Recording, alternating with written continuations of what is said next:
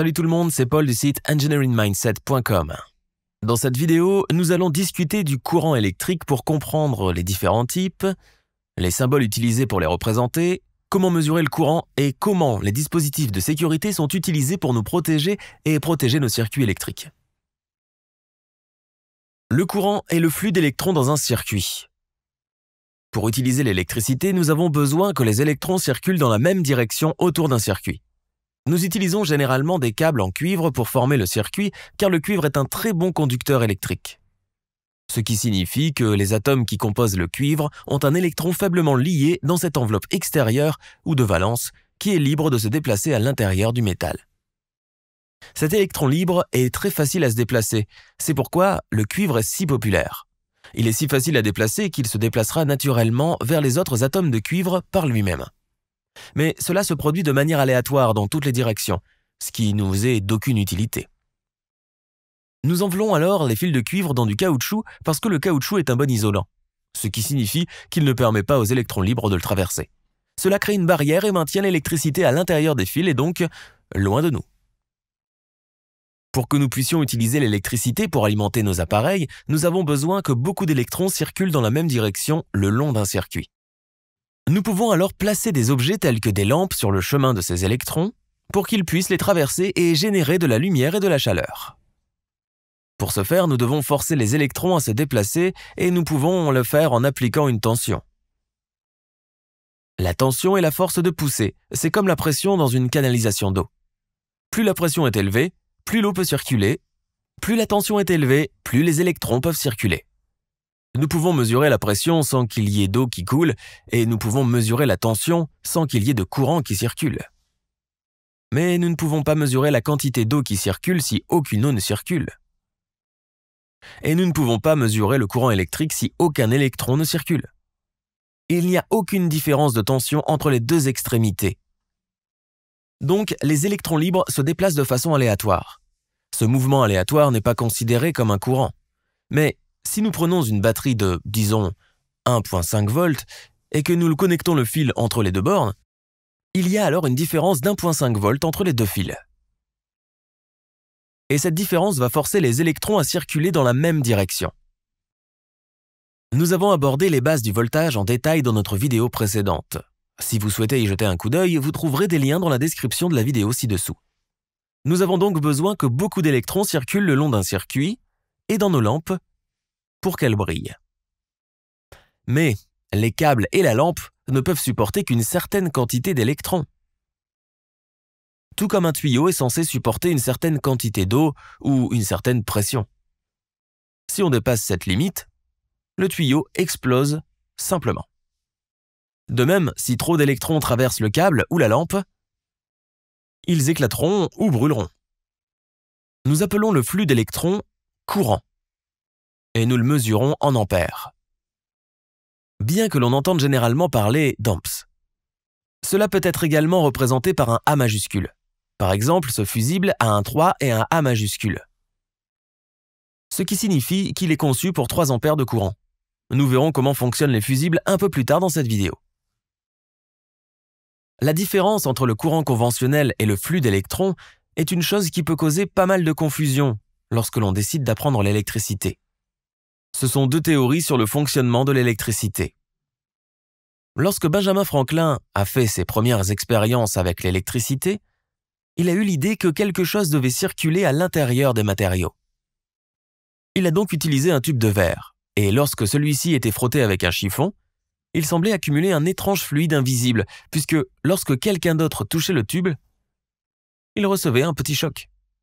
Nous connaissons maintenant ce phénomène sous le nom d'électricité statique. Mais à l'époque, Benjamin Franklin a supposé que le tube accumulait une quantité excessive de ce fluide invisible.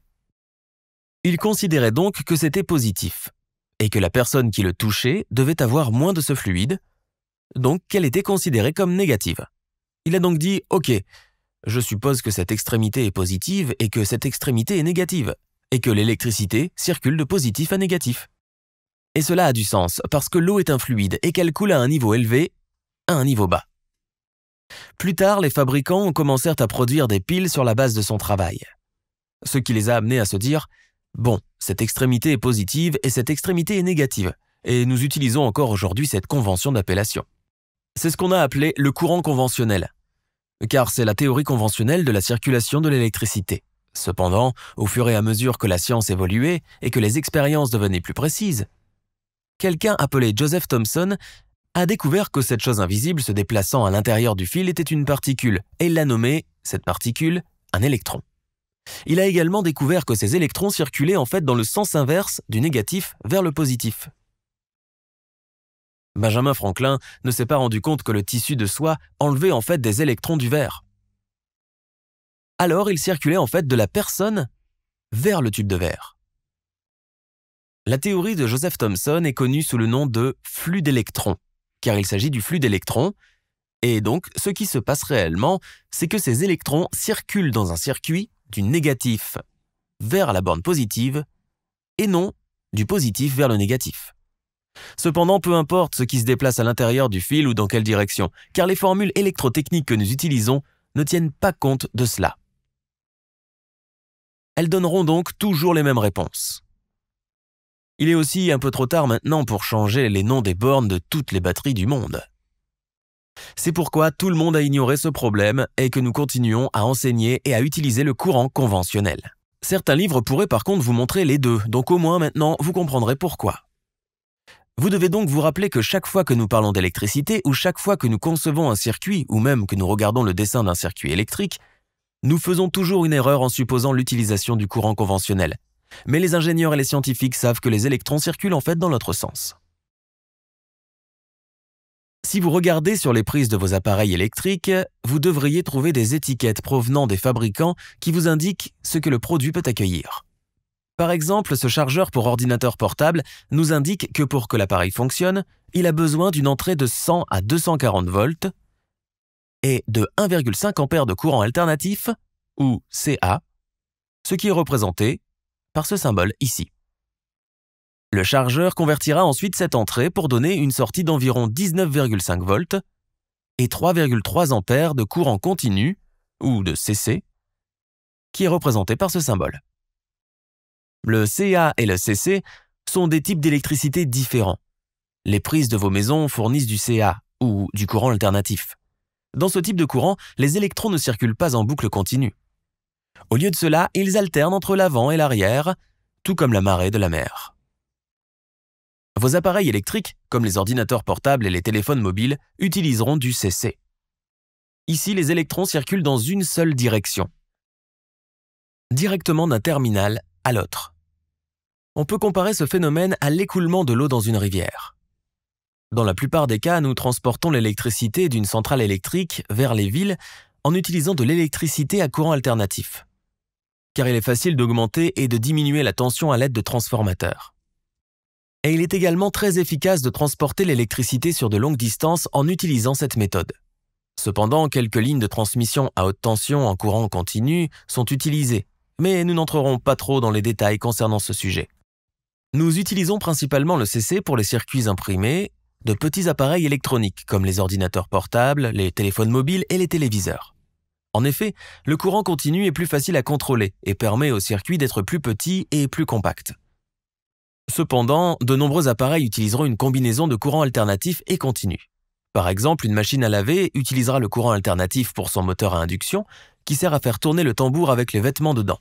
Mais la carte de circuit imprimé qui contrôle les réglages, les lumières, les minuteries, ainsi que la vitesse d'essorage du moteur, utilisera du courant continu. Nous pouvons convertir le CA en CC à l'aide d'un dispositif appelé convertisseur ou redresseur. C'est extrêmement courant en électronique. Nous pouvons également convertir le courant continu en courant alternatif à l'aide d'un onduleur, utilisé par exemple dans des systèmes d'énergie solaire. Nous avons déjà traité en détail les onduleurs de puissance, Vérifiez par vous-même grâce au lien que vous trouverez dans la description vidéo ci-dessous. Les gens se réfèrent souvent à une rivière ou à la marée de mer lorsqu'ils veulent parler d'un fort courant. C'est très similaire à l'électricité. On dit qu'une rivière avec beaucoup d'eau qui coule rapidement a un fort courant. C'est pareil en électricité. Un câble avec beaucoup d'électrons en circulation possède également un courant élevé. Une rivière est capable de supporter une certaine quantité d'eau qui la traverse. Mais si plus d'eau y pénètre, qu'elle ne peut en supporter, la rivière va déborder. C'est la même chose avec l'électricité, le câble va éclater et se consumer. C'est pourquoi les fabricants doivent pouvoir tester les câbles et les lampes pour savoir quelle quantité de courant ils ou elles peuvent supporter. Nous voulons également être en mesure de voir combien de courant circule dans nos circuits, ainsi que de pouvoir le calculer. Nous pouvons le mesurer à l'aide d'un ampèremètre, et nous mesurons le flux de courant en unités ampères. Alors, qu'est-ce qu'un ampère? Un ampère est égal à un coulomb par seconde. Et un coulomb est égal à environ 6 quintillions, soit 242 quadrillions d'électrons par seconde. D'accord, mais qu'est-ce que cela signifie? Une autre façon de voir les choses est que pour alimenter cette lampe de 1,5 watts avec une batterie de 1,5 volts, il faut un courant d'un ampère. Cela signifie que le circuit a besoin d'un coulomb par seconde, ce qui signifie qu'environ 6 quintillions, 242 quadrillions d'électrons, doivent circuler de la batterie et à travers la lampe chaque seconde pour que la lampe reste allumée. Mais comment peut-on le voir? Il n'est pas très pratique de dire combien d'électrons par seconde circulent. Les ingénieurs se contentent donc de dire des ampères pour gagner du temps. La luminosité de la lampe varie en fonction du voltage. Lorsque nous diminuons le voltage, il y a moins de pression poussant les électrons, donc moins d'électrons qui circulent. Plus la tension augmente, plus les électrons circulent et plus la lampe brille. Mais n'oubliez pas qu'à une certaine tension et à un certain courant, la lampe s'éteint. Pour mesurer le courant dans un circuit, nous devons connecter un ampèremètre en série pour que le courant circule. Pensez-y, c'est comme pour un compteur d'eau l'eau dans un tuyau doit passer par le compteur d'eau pour que nous sachions combien d'eau s'écoule. De même, nous avons besoin que les électrons circulent à travers notre ampèremètre. Au lieu d'utiliser un ampèremètre, nous allons utiliser un multimètre, car nous pouvons faire beaucoup plus avec cet appareil. Je vous laisse quelques liens dans la description vidéo ci-dessous pour savoir où vous pouvez vous procurer un bon multimètre. Je vous encourage vivement à vous en procurer un pour votre boîte à outils, c'est un outil essentiel pour tout ingénieur électricien. Si nous connectons cette batterie de 1,5 volts et cette lampe, qui a une résistance d'un ohm, alors nous obtenons une lecture de courant d'1,5 A. Ce qui signifie que 9 quintillions, 336 quadrillions d'électrons circulent dans la ligne chaque seconde. Comme les composants de ce circuit sont câblés en série, le courant est le même partout dans le circuit. Donc nous pouvons prendre une mesure n'importe où, ce sera toujours la même valeur qui sera affichée. Si nous ajoutons une autre lampe ou circuit connecté à un nouveau circuit en série, et que la lampe a également une résistance d'un ohm, alors nous ajoutons plus de résistance au circuit. Il est donc plus difficile pour les électrons de circuler à travers le circuit. Et donc, nous constatons une réduction du courant. Dans ce cas, nous obtenons une lecture de 0,75 A, ce qui signifie que 4 quintillions 818 quadrillions d'électrons circulent. Ce circuit est en série, donc là encore nous pouvons déplacer le multimètre, nous obtiendrons toujours la même donnée. Si nous connectons maintenant le circuit avec deux lampes en parallèle, toutes deux avec une résistance d'un ohm, et que nous connectons le circuit à une batterie de 1,5 volts, alors dans le fil principal 2 et vers la batterie, nous obtenons 3 ampères. Mais sur la branche de chaque lampe, nous obtenons 1,5 ampères parce que le chemin de l'électron se divise. Ils sont donc partagés entre les deux lampes. Le chemin fusionne alors à nouveau. Nous obtenons donc le courant total combiné du circuit de 3 ampères parce que les deux lampes ont la même résistance et ont donc le même courant. Mais par exemple, si A a une résistance d'un ohm et que B a une résistance de 3 ohms, alors dans le fil principal, nous obtenons une lecture de 2 ampères. Dans la branche pour la lampe A, nous obtenons 1,5 ampères, et dans la branche pour la lampe B, nous obtenons 0,5 ampères. Notez cependant que la lampe B est plus faible c'est parce que la résistance est plus élevée, ce qui rend le passage des électrons plus difficile. Dans les deux cas, les ampères et les branches s'additionnent et sont égaux au courant total qui circule dans le fil principal, vers et depuis la batterie. Par conséquent, nous pouvons ajouter des résistances à nos circuits pour limiter la quantité de courant qui peut circuler.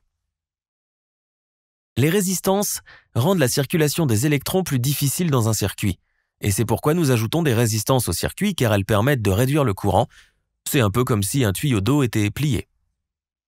Cela ajoute de la résistance au flux d'eau, ce qui réduit la quantité d'eau qui peut circuler. Et comme l'eau entre en collision avec la paroi du tuyau, elle va perdre de l'énergie. On obtient donc une chute de pression.